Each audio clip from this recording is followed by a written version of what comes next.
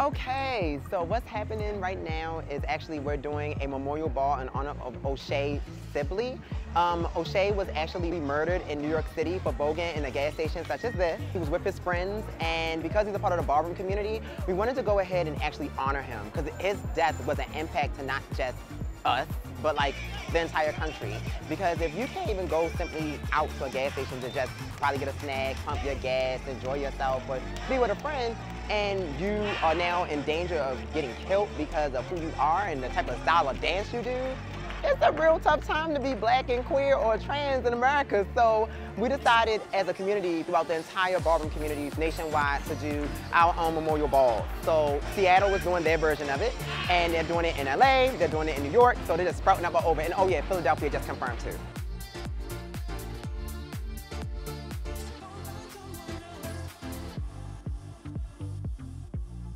O'Shae Sibley is originally from Philadelphia. He's actually someone who I actually knew personally, um, who works with young youth at YHEP, um, the Youth Empowerment Program in Philadelphia.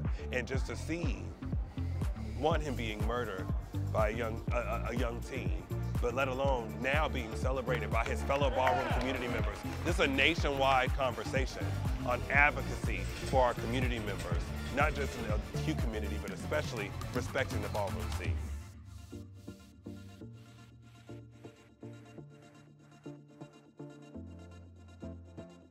So what's happened here today is ballroom culture. What that is, is pretty much way back in the 90s, um, a lot of black and brown drag queens and trans women felt alienated by the drag culture and decided, you know what, fuck this, I wanna make my own culture. And what spurred out of it is what you're seeing today, ballroom culture.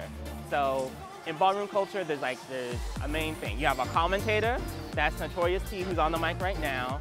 That, pretty, that person really guides the ball and guides everybody, gets the people up. You get more energy when you have someone hyping you up. And that's what a commentator does, is guide everybody and. Then you have your DJ. Your DJ plays the beats, they're on the ones and twos. They give you the music to, you know, to vogue out and do what you need to do. And then you have the spectators, people who are just watching, who understand the culture, who are just watching. So it's pretty much what you're seeing today is people who practice really hard, be able to express themselves and be able to vogue, runway, face, all these different type of categories that we do when we compete at a ball. We're tired of, at the end of the day, not only trans community members being killed, but community members being bullied and harassed because they just want to dance, because we just want to live, because we just want to be seen and heard. I think a lot of us can envision ourselves being O'Shae. Like we all go out here, we all key, we all we all vote, we're all just minding our business, and someone took that, took that us, someone just minding the business out there and decided to do hate to somebody else. And I think it's really, definitely for this community that's just growing here, it's a big, it's like a bit like, whoa, like this could be me. This could be, I could be in that same position having visibility, physical visibility, and improper representation and saying it with our bodies, with our voices, with our lived experiences that you're going to see us, you're to respect us, and we're going to keep existing, and going to keep thriving and keep breaking down doors and molds.